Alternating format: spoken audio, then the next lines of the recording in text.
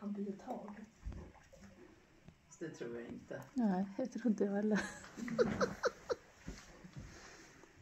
Hon bara vill fila i honom. Vad är Rättar du henne?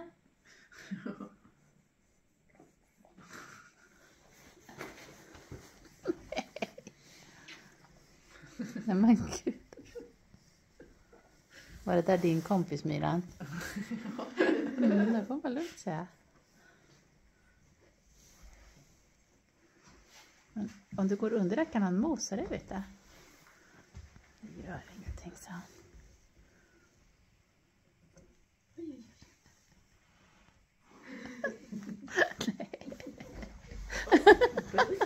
Buttade du ner henne? Ja det gjorde du rätt i.